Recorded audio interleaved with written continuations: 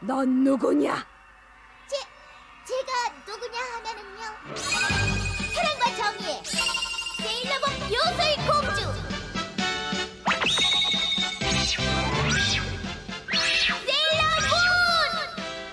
세일러문 정의의 이름으로 널 용서하지 않겠다 사랑과 정의의 이름으로 널 용서하지 않겠다!